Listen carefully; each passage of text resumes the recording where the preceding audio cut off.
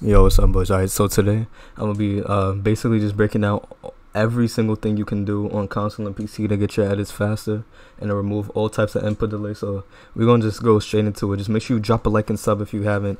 Like 80% of you guys aren't subscribed, so it'll mean the world if you guys can just sub and like and comment. Let me know what your favorite food is in the comments. Alright, so back to the video. In their settings, this works on console and PC, but this is mostly for my console my console boys. Alright, so what you wanna do? Go here in the first tab and you won't see all of this since you're on console but all you want to do is go down to motion blur. Make sure that's off. You shouldn't have it on anyways because you know i do a lot of these videos so that should be this should already be off.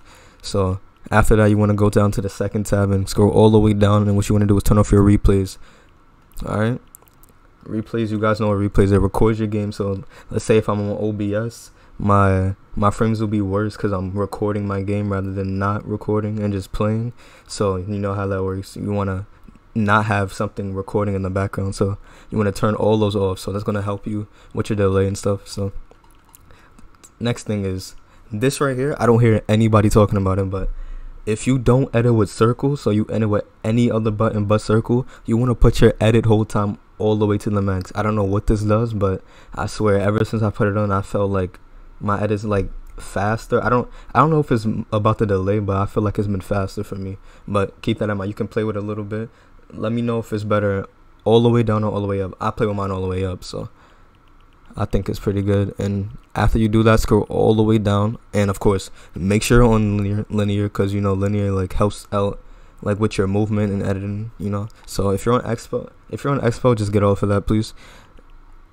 And what you want to do is go down after that, go all the way down to foot controller, turn it on, have your max throttle and dead zone all the way to the least it can go. So 1%, 1%, of course.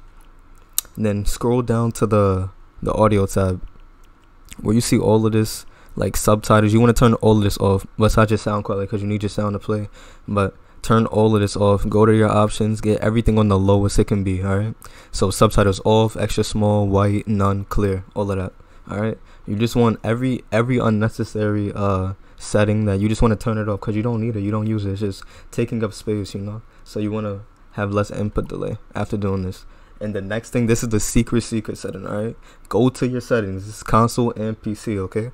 So find in your combat controls, okay? Find any button that you don't use, okay? That you don't any button that you don't use. So let's say if I wanted to do this, I go down. Look, I see that I have my my L3 un unbinded, right? I click on it. You want to scroll all the way down right here until you see switch mode slash edit right there.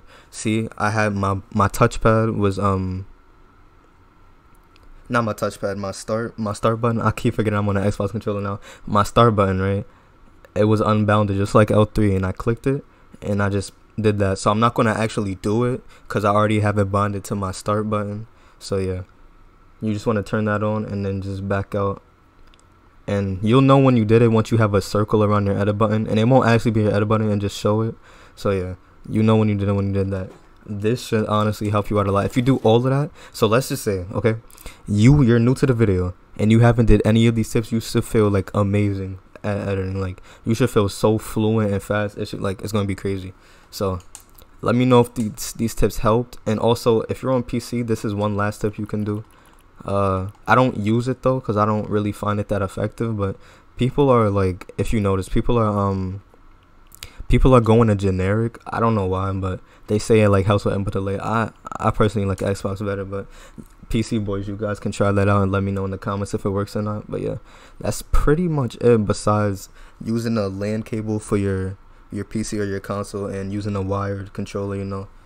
Okay, and before we end this video, it's one more tip. This is one more tip that I have to uh, discuss. It's really like overlooked. Flea used it in one of his videos, and like people didn't really do it that much. I don't know if they do, but they don't say they do it.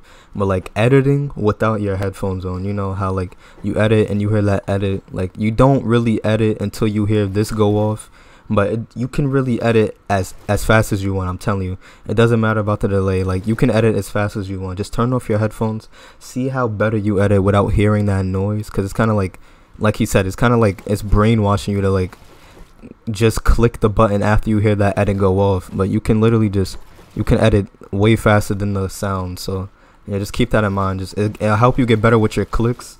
So like just just spam edit without your headphones. All right, just spam edit without your. I have my headphones on, but it's gonna feel a lot better when you don't have headphones because you don't hear the noise. You can just keep clicking as fast as you can, and you won't realize that you're actually like messing up if you don't hear. Like I can't really explain it, but just try it.